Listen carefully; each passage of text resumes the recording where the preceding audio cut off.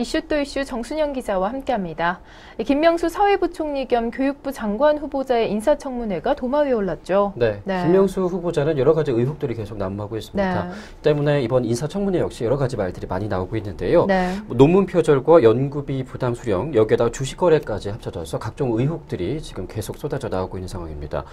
어, 여러 가지 그 후보자 인사청문회에서 말도 많고 좀 탈도 많은 어, 이야기들이 쏟아지고 있는데요. 야당 의원들은 심지어 이 김 후보자에게 논문 표절왕, 의혹 제조기 등의 표현도 서슴지 않는 상황, 네. 상황입니다. 워낙 이 의혹이 많기 때문에 이런 별명들도 따로 붙는 것이 아닌가 생각해 볼 수가 있는데요. 하지만 새누리당 의원들은 좀 다른 양상을 보이고 있습니다.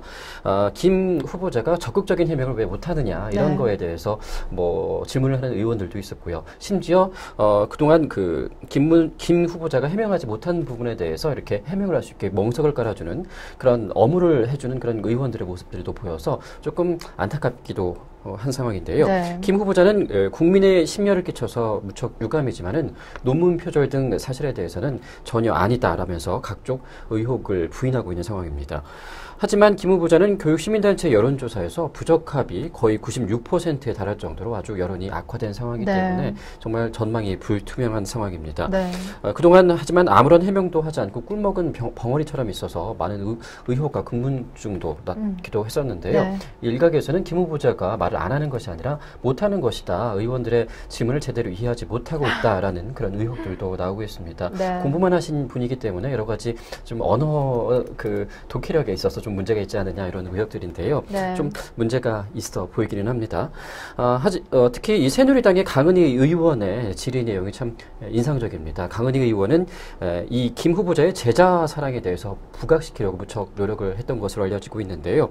강은희 의원은 김 후보자에게 그동안 논문 주제도 직접 뽑아주고 또 학생들에게 영문 초록도 직접 작성해 줬느냐 이런 질문을 했습니다. 또 밤 늦게까지 퇴근을 하지 않고 우리 학생들을 따로 불러서 영어 책도 지정해주고 강독한 사실이 있느냐 네. 이런 질문을 했습니다. 어, 인사청문회인데 이런 질문을 왜 했는지 강은희 의원 참 의아스럽기도 한데요. 한편으로는 또 안타깝기도 합니다. 정말 국민의 세금으로 월급을 받고 있는 국회의원들 인사청문회에서는 정말 검증을 할 수 있는 제대로 준비된 질문들을 갖고 나오면 어떨까 생각을 해봤습니다. 네, 이 교육은 백년지대계라고 했죠.